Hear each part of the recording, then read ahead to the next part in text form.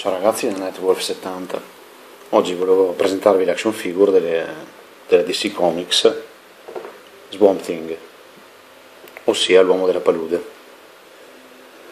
Fra l'altro questo tipo di personaggio è uno tra i miei preferiti che non, inizialmente non sapevo neanche che fosse della DC Comics ma pensavo un personaggio del cinema cioè che, creato per il cinema ecco perché hanno fatto diversi film e anche qualche serie televisiva ancora si parla degli anni 80, quindi che poi questo, questo mostro, chiamiamolo mostro, ma alla fine è un buono, è nato negli anni 70, 71, anzi nel 71 mi pare che, ha avuto la prima comparsa nei fumetti e poi da lì eh, è iniziata tutta la, sua, tutta la sua storia. Si tratta di, una, di, una, di, uno scienziato che stava facendo degli, degli esperimenti in un laboratorio, questo laboratorio era sito vicino a una palude e lì siccome che la, la fidanzata di questo, di questo scienziato anche, piaceva anche al suo collaboratore, a quanto, quanto, pare dalla storia, il collaboratore per, per avere la, sua, la fidanzata di questo, di questo, scienziato, che, diventa, che dopo diventa Swamp Thing, ha fatto esplodere il laboratorio, lui ha subito delle mutazioni con, con degli agenti chimici, ha subito delle mutazioni particolari e è diventato poi Swamp Thing. Questo personaggio a me piace molto, insieme ad Aquaman anche, che è sempre della DC, ma quello se me lo vedremo in un altro momento. Intanto guardiamo questo, qui c'è la scatola, qui eh, qualcuno ha disegnato col pennarello, ma prima della consegna o durante la consegna. Questi sono i personaggi che trovate in questa, in questa raccolta qui.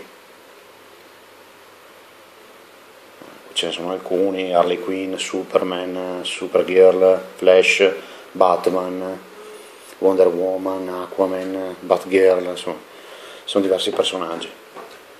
Hanno, far, hanno fatto diverse linee di, questa action figure.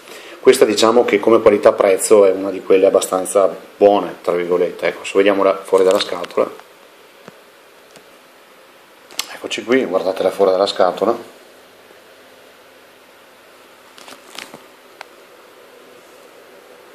vedete forse così la vedete un pochino meglio facciamo un'inquadratura un po' più da vicino ecco notate queste, tutte queste venature tutte queste rughe troppo accentuate perché lui è, appunto essendo l'uomo, della palude qui ci sono anche degli arbusti che vengono fuori dalle braccia perché lui proprio riesce a padroneggiare con, con, tutti gli elementi della palude quindi no? Ecco, gli snodi sono presenti nella testa, eh, nelle braccia qui, nei gomiti, qui nella mano, ma solo in questa perché l'altra è un pugno, un pugno chiuso semplicemente, la testa si muove abbastanza, destra e sinistra, poi nelle gambe ci sono solo le giunture, quella all'altezza delle linguine, ginocchia e piedi. Ecco, questi sono, sono, i punti di torsione che può avere la, l'action figure.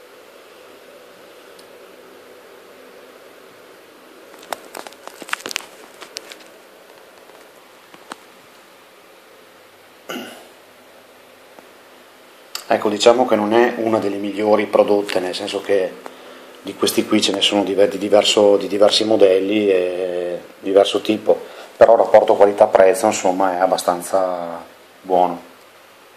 E poi insomma come Swamp Thing è fatto anche bene.